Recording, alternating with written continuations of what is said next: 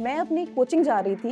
मेरे बाल लंबे हुए बहुत थे एंड मैंने एक पोनी बांधी हुई थी। उन्होंने मेरी पोनी ऐसे पुल करके अपने लैप पे लिटा लिया। उन्होंने गले पे नाइफ रख दी बॉटल खोला एंड मुझे पूरा कॉन्फिडेंस में लेके मेरे सर से वो डालना स्टार्ट कर दिया। मैं अपने आँख से बस एसिड पोच रही थी और आँख बंद करके ऐसे ही दौड़ रही थी। थोड़ी सी आँख खोलती थी एसिड पोचती थी एंड दौड़ती थी। And he was running after me with that knife hello नमस्कार एंड सलाम मेरा नाम रेशम फातिमा है। और मैं अभी अपनी मास्टर्स की पढ़ाई जेएनयू से masters in politics with specialization in international studies कर रही हूँ।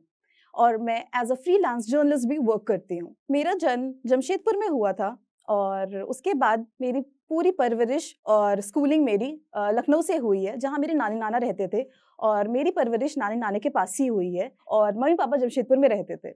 सो so, उसके बाद बहुत अच्छी मेरी लाइफ चल रही थी स्कूलिंग बेस्ट चल रही थी, सारे क्लास पूरी फ्रेंड्स होते फ्रेंड होती थी मेरी और उसके अलावा बहुत फ्रेंड्स होते थे, हंसना, बोलना।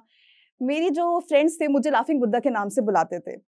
बट हर कुछ हमारी लाइफ में स्मूथ नहीं जाता है और जैसा हम चाहें वैसे नहीं होता है तो लाइफ का मतलब ही शायद वो होता है। तो मेरी लाइफ में कुछ ऐसा हुआ 2014 में फ़र्स्ट फेबररी को, जिसने मेरी लाइफ बहुत ज़्यादा चेंज कर दी। मैं अपनी कोचिंग जा रही थी मैं इलेवेंथ क्लास में उस टाइम पे थी। तो कोचिंग के रास्ते ही में मेरे मम्मा के कज़न जो कि मेरे मामू लगते थे, वो मुझे मिले और उन्होंने मुझे कहा कि, आओ मेरी गाड़ी में मतलब बैठो, मेरे साथ चलो।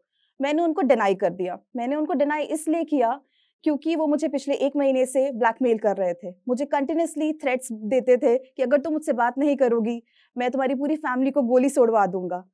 अगर तुम मुझसे बात नहीं करोगी, मैं तुम पे एसिड फिकवा दूँगा।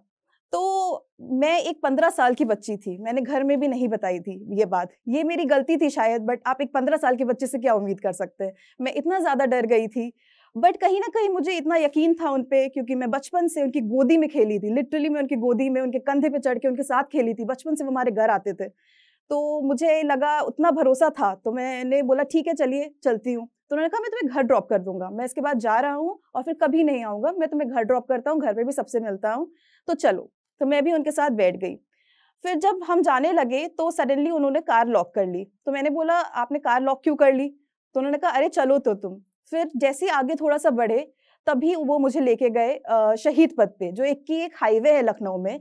तो शहीद पथ के ही थोड़ा पास मेरा घर है बस शहीद पथ ऑपोजिट डायरेक्शन में है। तो जैसे ही वो मुझे शहीद पथ पे ले गए, थोड़ी आगे जाके उन्होंने गाड़ी रोक दी। वो काफ़ी सुनसान एरिया था। वहाँ पर गाड़ी रोक के वो मुझसे बोलने लगे तो मुझसे बात क्यों नहीं करते हो?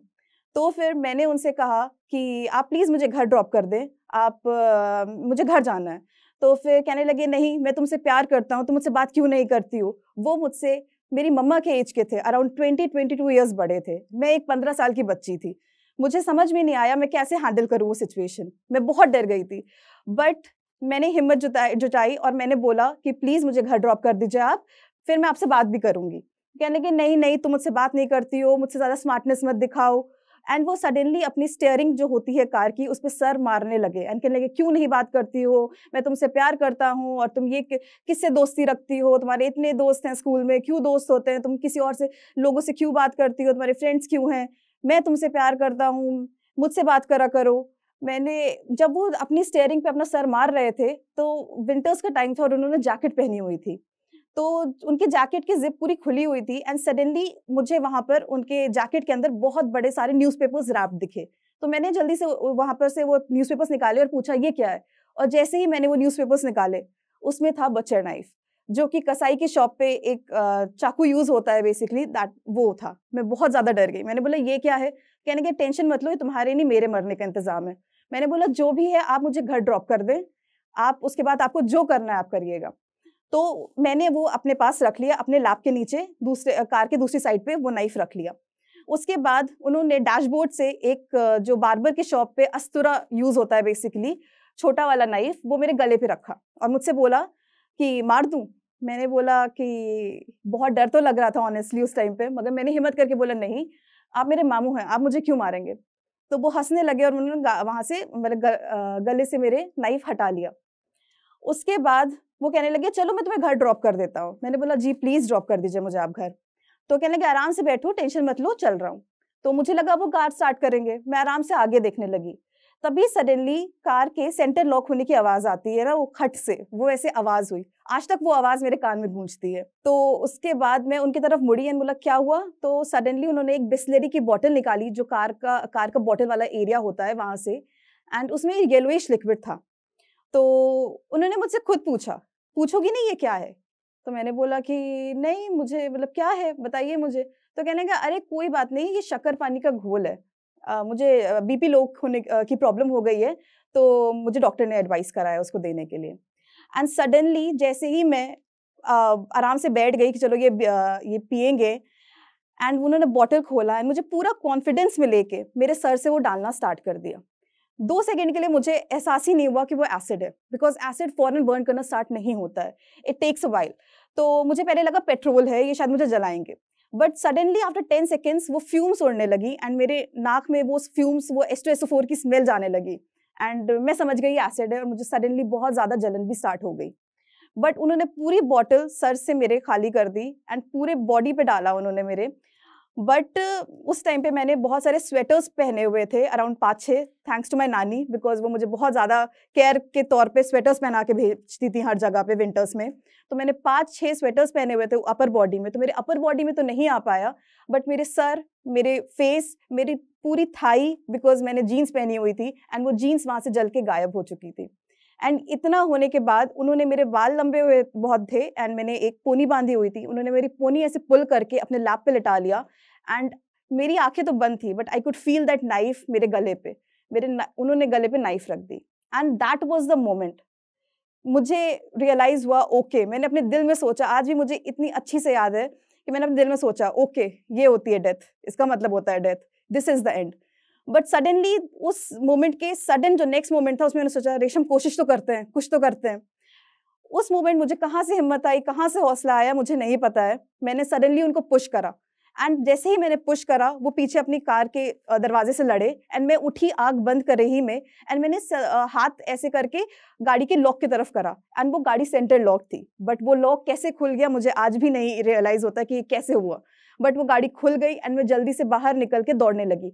मैं अपने आँख से बस एसिड पोच रही थी और आँख बंद करके ऐसे ही दौड़ रही थी। थोड़ी सी आँख खोलती थी एसिड पोचती थी एंड दौड़ती थी।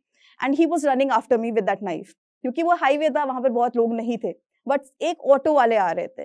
एंड वो बस ऑटो रुकी एंड मैं ऑटो पे जंप करके बैठ गई। मैंने बोला, भैया प्लीज़ आप मुझे हॉस्पिटल लेके चलिए या पुलिस स्टेशन लेके चलिए।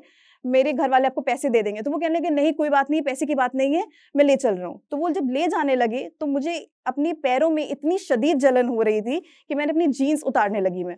तो उन्होंने कहा मुझसे कि, अरे, आप ऐसे मत करिए प्लीज़ तो उन्होंने अपने जो ऑटो का, सफ़ाई का कपड़ा होता है मेरे पैरों पे डाला। बिकॉज़ मेरी आधी जीन्स जल चुकी हुई थी और मुझे बहुत ज़्यादा पेन हो रही थी।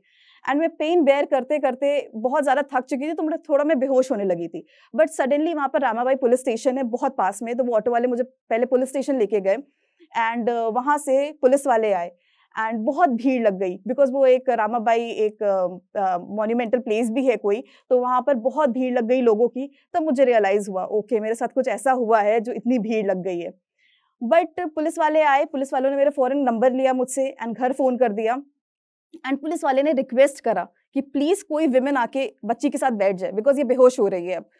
बट कोई भी वहाँ पर राज़ी नहीं हुआ बिकॉज़ मेरी हालत देख के किसी में शायद नहीं हिम्मत थी उस टाइम पे। बट एक बूढ़े अंकल आए, आज भी मुझे उनकी शक्ल याद है अच्छे से। तो वो आए एंड मैंने उनके कंधे पे अपना सर रख लिया। तो वो थोड़ा सा हेजिटेंट हुए बिकॉज़ उनको लगा एक लड़की है। तो पुलिस वाले ने कहा, कोई बात नहीं, आपकी पोती की उम्र की है। मैंने उनके कंधे पे सर रख लिया और मैं काइंड kind ऑफ़ of थोड़ा बेहोश होने लगी। तभी एक हॉस्पिटल लेके गए जिसका नाम है लोक बंधु लखनऊ में, आशियाना में। तो बट वहाँ पर जैसे ही पहुँची मैं एंड मुझे उठाया गया, मुझे आज भी वो चीज़ याद है कि उनकी जैकेट उस एरिया से गायब हो चुकी थी जहाँ पर मैंने उनका सर रखा हुआ था। वो एसिड इतना ज़्यादा कंसनट्रेटेड था। फिर मुझे हॉस्पिटल लेके गए, अंदर तो वहाँ पर बर्न वार्ड नहीं था। वहाँ से मुझे बस इंजेक्शन लगाया गया और मुझसे पूछा गया कि ये किसने करा है। उसके बाद बस मुझे शिफ्ट करने लगे। एंबुलेंस में शिफ्ट ही कर रहे थे कि मेरे अच्छे मामा और मेरे नाना वहाँ पर गाड़ी से पहुँच गए। एंड जैसे ही मैंने उनको गाड़ी से उतरते हुए देखा मैंने चिल्लाया कि अच्छे मामा रियाज मामा को मत छोड़ना। मेरे रियाज मामा थे वो जिन्होंने मेरे साथ ऐसा करा हुआ था। तो मेरे अच्छे मामा ने मुझसे कहा कि बेटा परेशान मत हो मैं नहीं छोड़ूँगा।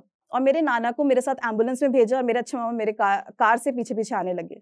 मेरे नाना पुलिस में थे और मैंने आज उस टाइम तक एटलीस्ट ज़िंदगी में उनको कभी रोते हुए नहीं देखा था। And that was the moment he was howling and crying तो मुझे रियलाइज़ हुआ ओके मेरे नाना रो रहे हैं।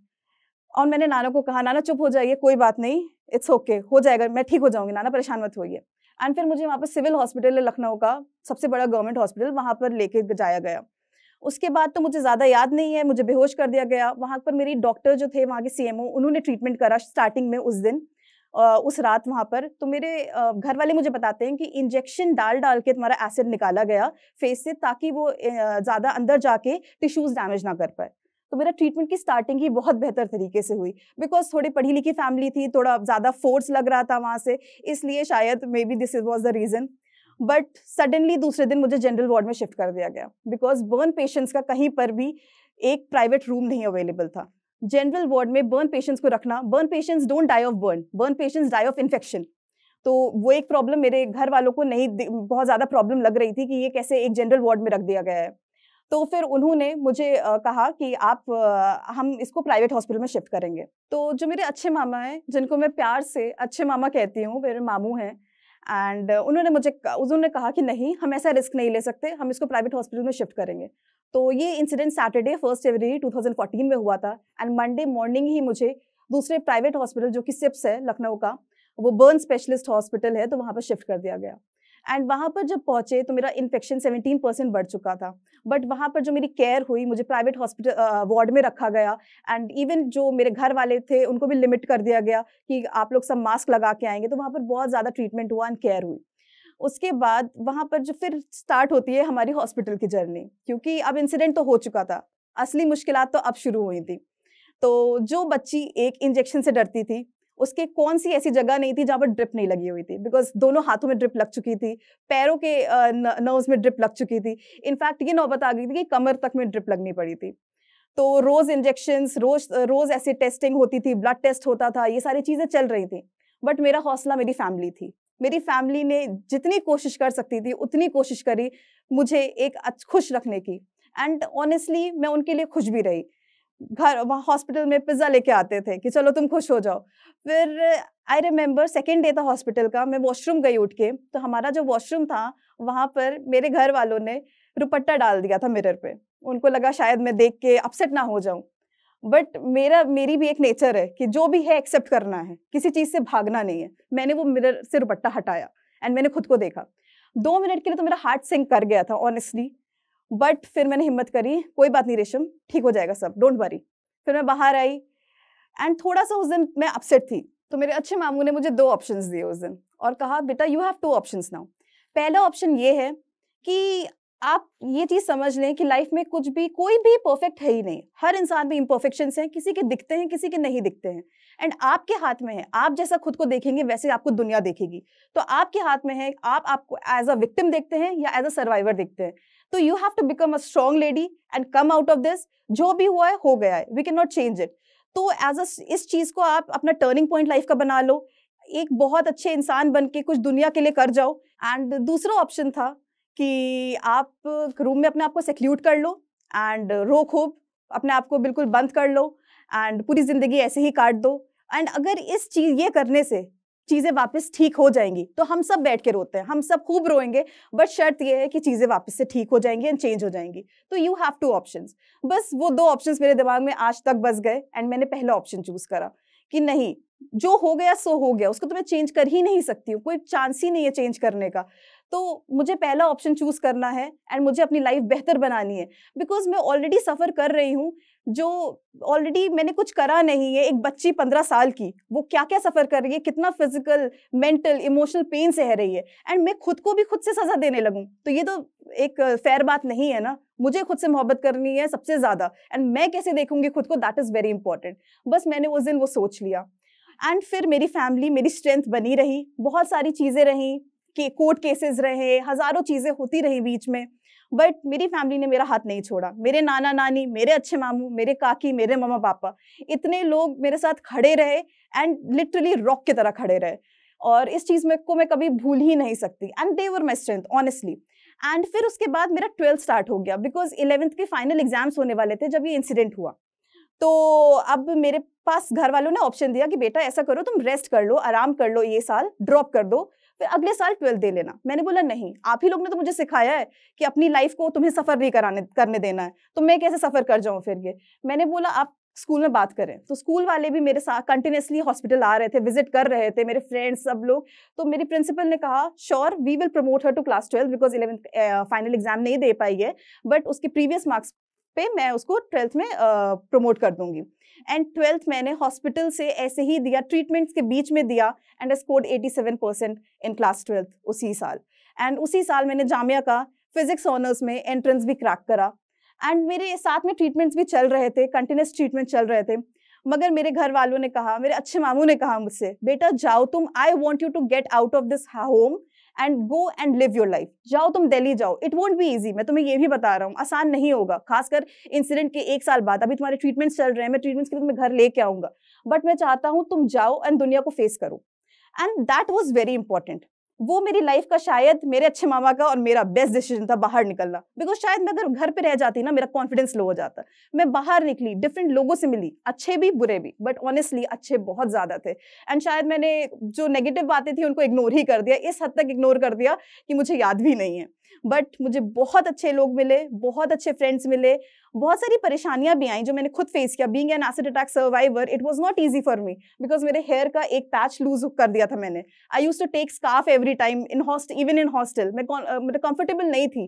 बट उन सब चीज़ों के बावजूद मैंने, मैं हर चीज़ में पार्टिसिपेट करा, हर चीज़ में अपने फ्रेंड्स के साथ मस्ती करी, सारी चीज़ों को ओवरकम करा। बहुत सारे बार हार्ट लॉस हो जाता था सिंक कर जाता था ऑनेस्टली बट वो फॉर अ मोमेंट मैं उस मैंने उस चीज़ को कभी अपने ऊपर हावी नहीं होने दिया। एंड uh, मैंने अपना ग्रेजुएशन कंप्लीट करा। उसके बाद uh, मैं अपना मास्टर्स भी कर रही हूँ जेएनयू से। एंड इंपॉर्टेंट चीज़ ये होती है सबसे ज़्यादा इंपॉर्टेंट बात ये है कि हमें कभी गिव अप नहीं करना चाहिए। और सबसे इंपॉर्टेंट बात यह है I don't regret saying no at that time जो वो पंद्रह साल की बच्ची ने सफ़र करा है ना वो मैं कभी भूल नहीं सकती हूँ। बट मैं रिग्रेट नहीं करती उस नो कहने को बिकॉज़ लोगों को नो कहना उनका हक है। And I you know I am very proud of it that I said no whatever the consequences were जो कॉन्सिक्वेंसेज मैंने फेस करे, ये मेरी लाइफ में लिखे हुए थे। एंड मैंने एक चीज़ सोच ली अपनी ज़िंदगी में कि मैं अगर अपने जैसे दस रेशम को भी बचा सकूँ ना, ऐसे हीनियस क्राइम से, या दस लड़कों के दिमाग में एक दिमाग डाल सकूँ, मैं कि लड़की आपके काउंटर पार्ट है वो ऑब्जेक्ट नहीं है। अगर वो नो कह रही है तो लर्न टू लिसन लो एक्सेप्ट करो उस नो को। एंड लिटरली मैंने इसीलिए अपना एब्रा फाउंडेशन भी स्टार्ट करा है जो कि एक बेसिक लेवल पे अभी मैंने स्टार्ट करा है जनवरी में ही। उससे मेरा मर, मेरा जो ये पर्सनल ग्रेटिफिकेशन के लिए मैंने स्टार्ट करा है। बिकॉज़ मैं सोचती हूँ कि उसके थ्रू मैं स्कूल्स में जाके लड़कों से लड़कियों से बात करूँ। एंड लड़कों को खासकर जो एक ग्रोइंग एज होती है सेवन टू फिफ्टीन ईयर्स उनको समझाऊँ। बिकॉज़ सबसे ज़्यादा इंपॉर्टेंट जो है ना हमारी सोसाइटी में सोच है। एंड सोच बहुत ज़्यादा इंपॉर्टेंट होती है लड़की को ऑब्जेक्टिफाई जो करके बच्चे देखते हैं आजकल। क्योंकि हमारी सोसाइटी में ऐसा शो किया जाता है। इंपॉर्टेंट सिर्फ़ आप इंपॉर्टेंस देते हैं लड़कियों की परवरिश को। लड़कों की परवरिश को कोई इंपॉर्टेंस देता ही नहीं है। उनको सिखाना इज़ ऑल्सो वेरी इंपॉर्टेंट कि तुम ये नहीं करो, तुम वो नहीं करो। सिर्फ़ लड़कियों को रोक के कुछ नहीं होगा। लड़कों को सिखाना भी बहुत ज़रूरी है। एंड नो एक्सेप्ट करना सिखाना पड़ेगा। दैट इज़ वेरी इंपॉर्टेंट तो मैं अपनी कोशिश पूरी करती हूँ कि मैं कैसे भी ऐसे बच्चों को सिखा सकूँ एंड समझा सकूँ। एटलीस्ट अपनी फैमिली से मैंने ये चीज़ स्टार्ट करी है। अपने छोटे कजन्स को सबको बताती हूँ मैं, अपनी स्टोरी प्राउडली तो और सबसे बड़ी बात है सोसाइटी की। तो मुझे सोसाइटी की ऑनेस्टली बुरी बात तो याद नहीं है जब ये इंसिडेंट हुआ था। बहुत ज़्यादा बुरी बातें नहीं थी। बट एक प्रॉब्लम थी सोसाइटी में जो मुझे आज भी याद है। मतलब और ये मुझे बहुत अनएजुकेटेड लोगों से मैंने नहीं सुनी है। एजुकेटेड लोगों से सुनी है मैंने। वो एक पंद्रह साल की बच्ची जो सफ़र कर रही थी, जो फिजिकली मेंटली इमोशनली सफ़र कर रही थी, मैंने अक्सर सुना है लोगों से, अरे, अब बस शादी में परेशानी होगी। मतलब लड़की होने का मतलब है आपकी ज़िंदगी में शादी होना, बस। शादी सबसे इंपॉर्टेंट चीज़ है। बस, उसके अलावा कुछ नहीं है आप। एंड मैं अगर अपना लाइफ पार्टनर चूज़ करूँगी, मैं इतना शालो इंसान चूज़ ही क्यों करूँगी, जिसको ये, इस इस इस चीज़ को वो ऐसे नेगेटिवली देखेगा? तो सोसाइटी को चेंज होना बहुत ज़रूरी है। लड़की का मतलब शादी ही नहीं होती, वो बहुत कुछ कर सकती है दुनिया में। एंड शादी is not the end of life even if it is in the important part of life मैं शालो इंसानों को ऐसे क्यों, मैं शालो इंसानों को दोस्त नहीं बनाती हूँ? तो this is very important society को ये चीज़ समझना पड़ेगा एंड सीखना पड़ेगा। एंड ऑनेस्टली मेरी लाइफ में बहुत अच्छे लोग आए, अच्छे अच्छे लोग मिले मुझे। बहुत जो मुझे सपोर्ट करने वाले मिले and I am very grateful for that एक लाइन मुझे हमेशा याद रहती है and that is very important शिकवा जुल्मत शब से तो कहीं बेहतर था, अपने हिस्से की कोई क्षमा जलाते जाते। And this is very important इसका मतलब है बेसिकली कि rather than cursing the darkness we should light our own candle अंधेरे को कोसने से बेहतर है कि हम अपनी कोई अपना पार्ट कर जाएँ जो कि दूसरों के लिए फ़ायदेमंद हो जाए। सो so, बस मेरी लाइफ का पर्पस यही है कि मैं कुछ ऐसा करूँ जो कि और लोगों की हेल्प कर जाए बाकी लड़कियों को सेव कर सकूँ बहुत सारी ऐसी रेशम है जिनको ज़रूरत है तो उन सब के लिए कुछ कर पाऊँ। So that is the major purpose of my life और मैंने अपनी लाइफ का मकसद वही बना लिया फ़िलहाल मैंने अपना मास्टर्स कर रही हूँ मैं और एज अ जर्नलिस्ट भी वर्क करती हूँ फ्रीलांस जर्नलिस्ट और मेरा मेरा जर्नलिज्म में भी फोकस इसी पे रहता है मेजरली विमेन इशूज़ पे। एंड जाते जाते मैं जोश टॉक को थैंक यू कहना चाहूँगी बिकॉज़ उन्होंने मुझे अपने प्लेटफॉर्म पे बुलाया एंड अपनी स्टोरी रखने का मौका दिया। सो थैंक यू इस वीडियो के बारे में अपनी राय नीचे कमेंट सेक्शन में हमें बताएँ और अपने दोस्तों के साथ ये वीडियो शेयर करना ना भूलें।